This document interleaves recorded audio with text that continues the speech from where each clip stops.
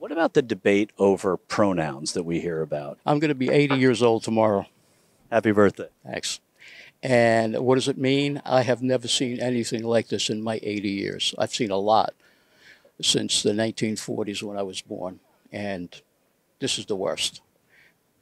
What do we mean pronouns? Uh, I mean, there are only there's an X and Y chromosome. Are we going against science? I, I'm not a science denier. Okay, so were you a vaccine supporter? Zero. But science made the vaccines. Uh, what science? Who made the science? I mean, doctors. science that says there's stuff in this uh, uh, uh, spike proteins and other things that are in these vaccines that are harmful to us. Why, why do we have such a spike in uh, uh, myocarditis in young people? Why? So are you? Um, are you? So that doesn't disqualify you from supporting Trump, who was really the godfather of the vaccine. He did what anybody would do at the time. You know, it came on quick. He tried to do the best that he could. I, I don't hold that against him. Yet you think that the vaccines weren't science. Zero. No. But he supported them, and he's considered the godfather of the vaccine. That's just an expression. I'm not buying it. I don't buy it. Let's talk about pronouns, which a lot of people are talking. Does that impact you at all? Do you care about that? um, the spiritual side of me, God's word, and I'm a believer of the Bible. In His word, it tells you exactly what's right and wrong. They have to answer to Him just as I do. So you're going in to see Trump speak now. Is is there? Do you see him as a good Christian?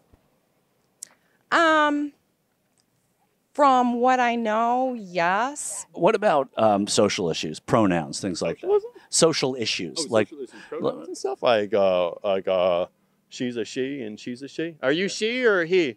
Thank you. Are you a she? Yep. I'm a he. That's what I think about it. what if they said I'm? and simple. what if they said I'm a they?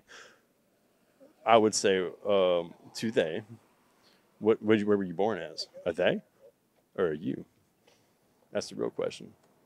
Chick with a d- or a chick with a pussy. Pronouns. How does that impact you? Well, you know, either you, you got to or you don't. you know what I mean?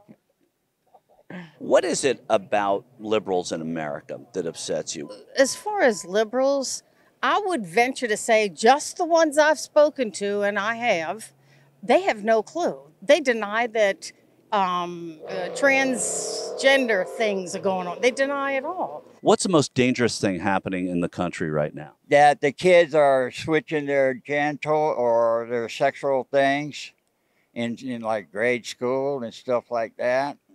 Do you think that's a lot of people that are doing it? One's too many. So, yeah, I got to say, yeah.